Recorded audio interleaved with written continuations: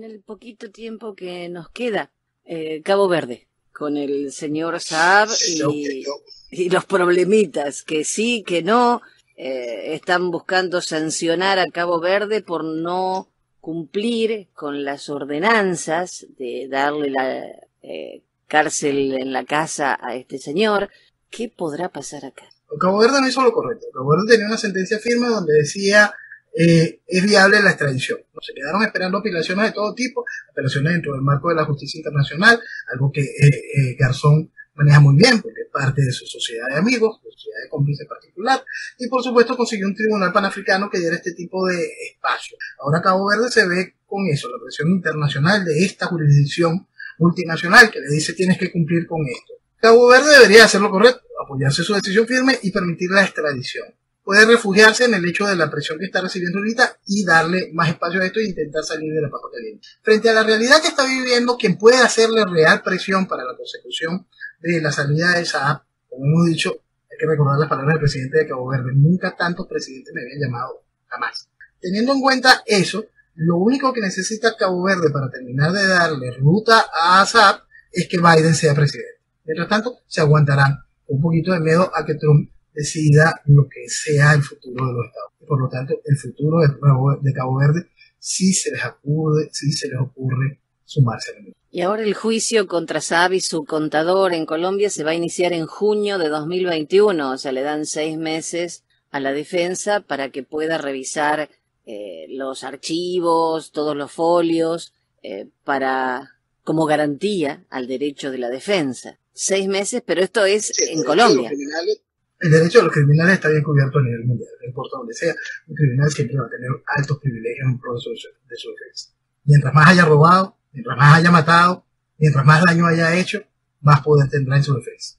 Eh, ¿Dónde se ha visto que los derechos humanos salgan a protestar contra el policía asesinado, eh, contra el pobre señor que estaba en su casa, entró un ladrón, lo mató, la culpa de quién es? Del hombre que se defendió.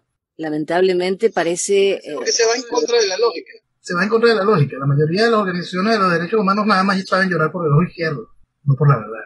No se defiende a la verdad se va en contra del riesgo es inmenso, porque cuando se fundamenta la historia, las acciones, cuando se fundamentan en la mentira no prevalece la verdad, el espejo lo tiene. Me queda de final la, la declaración del jefe del Comando Sur.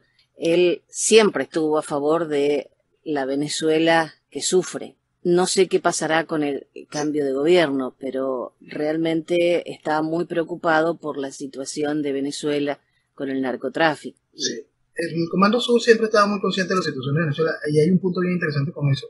Un ex comandante del Comando Sur, el general Kelly, cuando se retiró del de, Comando Sur, en su discurso de despedida, él habla de que todas las noches reza por Venezuela. Es decir, eso es un punto muy importante, porque el Comando Sur, estructura militar en base del Comando Sur, entiende a Venezuela en una realidad muy distinta a la estructura política que ejerce eh, acciones tanto en Washington y mucho más allá en Venezuela. Entienden, saben la realidad del proceso neocomunista fundamentalista, entienden el proceso de narcotráfico, de tráfico de armas, de experimentación de, de, terrorismo, de células durmientes. Cada uno lo maneja de una manera muy específica y saben del peligro de lo que significa Venezuela en manos de esta situación. Y eso es lo que hay que tomar en cuenta cuando se ve todo lo oscuro de lo que, de, de, todo ese reflejo que estábamos hablando hace un segundo de cómo Venezuela se ha convertido en sinónimo de lo malo.